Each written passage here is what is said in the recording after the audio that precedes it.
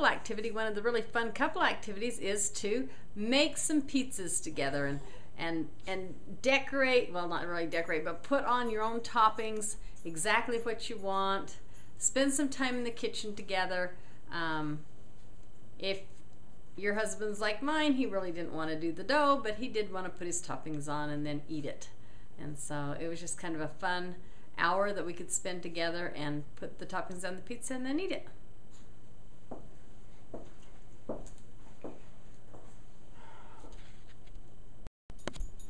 Remember, if you want to have a fun couple activity, one of the really fun couple activities is to make some pizzas together and and and decorate, well not really decorate, but put on your own toppings, exactly what you want. Spend some time in the kitchen together. Um, if your husband's like mine, he really didn't want to do the dough, but he did want to put his toppings on and then eat it. And so it was just kind of a fun hour that we could spend together and put the toppings on the pizza and then eat it.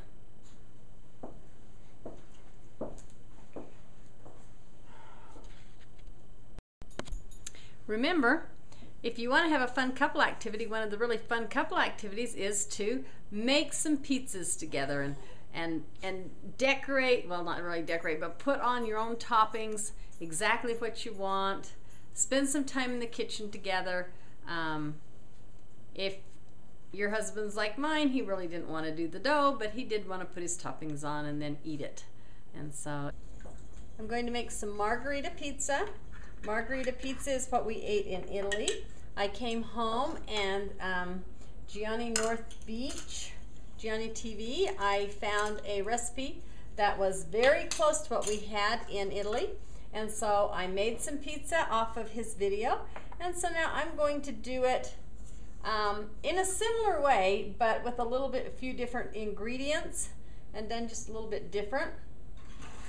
I'm going to take three and a half cups of flour.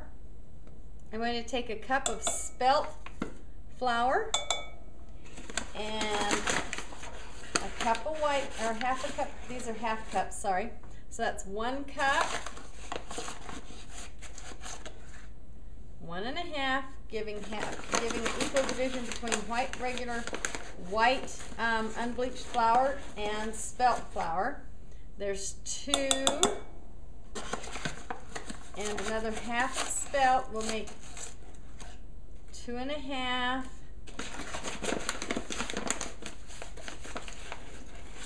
Three, so three and a half with the spelt, okay? So I still have a half a cup of flour, which I am going to use to um, get the yeast going. So I'm going to need some very um, warm water, just about, just beyond uh, temperature for, you know, like you fix a baby bottle, kind of. At least that's what I do. I stick my wrist into the water and come up with temperature that's about that of what I would do a baby bottle at, maybe a little bit less. I mean, a little bit warmer than that. You don't want it too warm or the yeast, it'll ruin the yeast. And then two and a half teaspoons of yeast. So one, two, I'm missing my little half, so I have to put two quarters in. So there's two and a half two and a half teaspoons of yeast is just about exactly what, um, like if you just had one packet of yeast, you could use just the packet of yeast instead. And you want to blend this up really good and get this blended into the water. Let it dissolve it.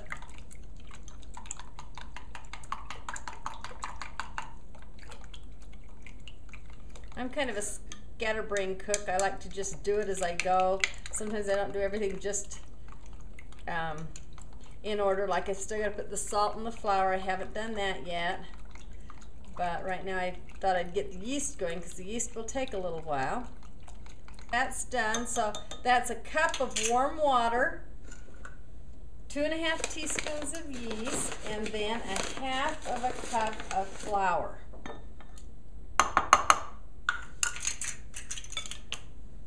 And this will make this yeast double really quickly. We're going to put it in a nice warm place after we get it mixed up.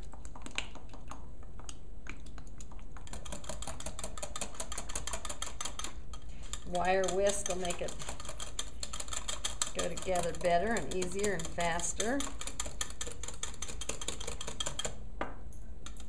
Okay, I've got it all put in together.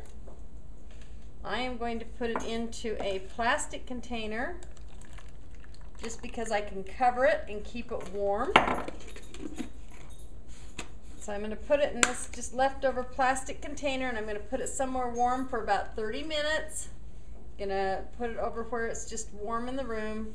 Let it sit for 30 minutes and come back and it should double in size and be kind of fluffy and so and thick. So we're going to wait for that. And while we do that, we also need a half a teaspoon of salt.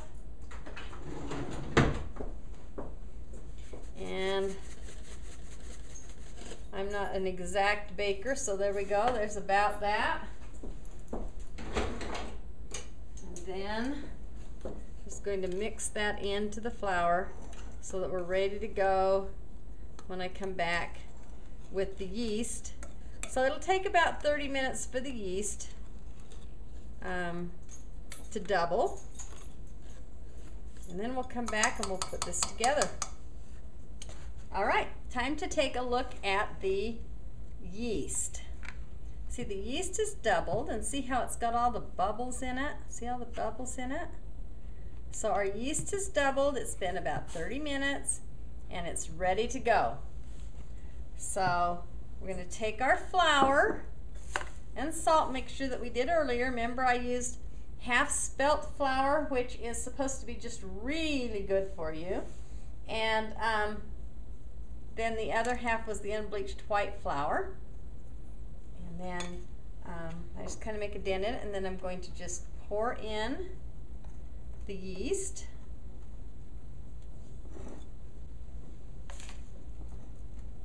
And then there was, um, we can add like a quarter cup of warm water to this. So, okay, can put about a quarter cup of warm water in. Because we do need to get it a little moister than I had it.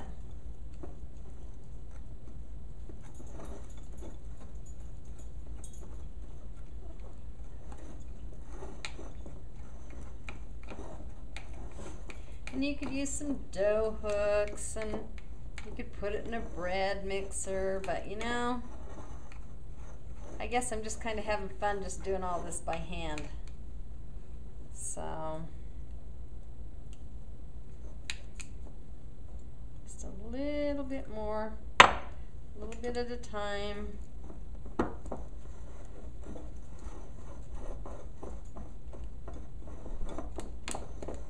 Get it start mixing in a little bit. I like to add it in just a little bit at a time because I don't want to get it too sticky. As soon as it starts to go together, see there it's starting to go together. well, mix it with something a little stronger next time, huh?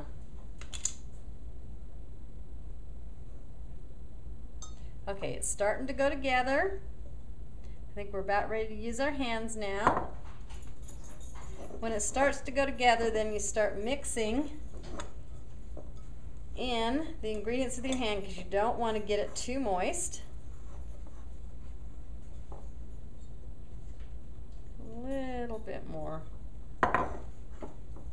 So it's going to take about the full quarter cup of water, maybe a little bit more. Get some more of this mixed in.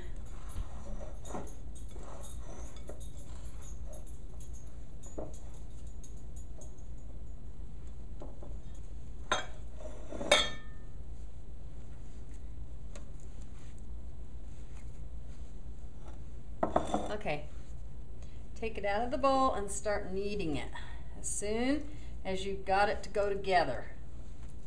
So this has now come together so that It's just an itty bitty bit sticky to my fingers, not bad, but it doesn't stick to the marble or to your countertop. And then you just need to knead it.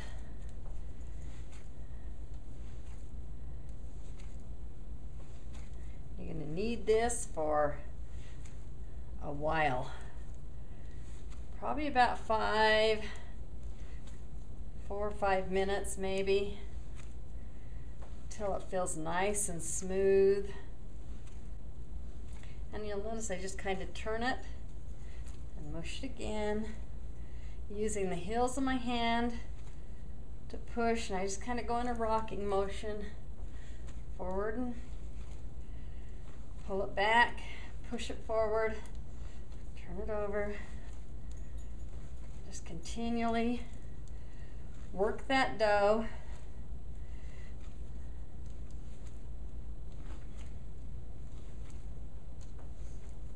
It's important to knead it really well.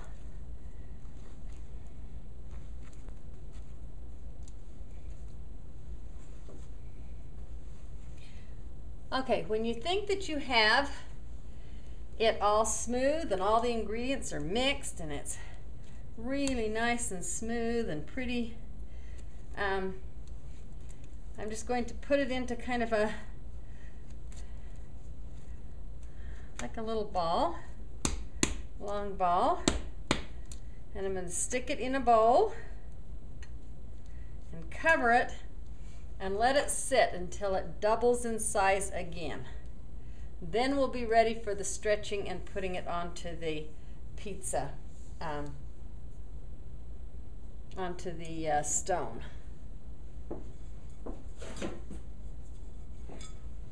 So you can just stick it right back in the bowl that you had it in when you made it. And we want to cover that Probably with some plastic wrap because it'll keep the heat in.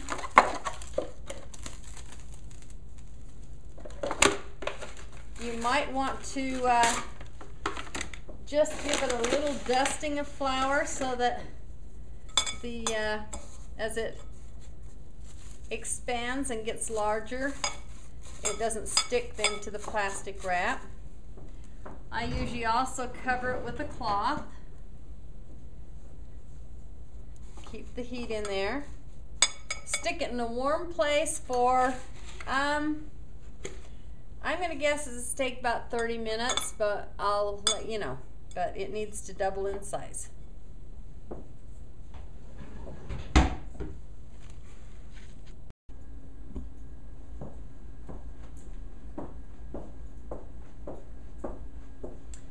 Okay, I am now heating my oven up. It's up to as hot as it goes. It's up to 550. So we're about ready. Um, the dough has now doubled in size. Nice rise in the dough. I put it in a nice warm spot, covered with the plastic. And see, even then it did stick a little bit, but if I hadn't put the flour over the top of it, would have had a mess. And then you can decide how big of these to make. Usually this will make four pizzas. So you can decide how big of uh, pizza you want.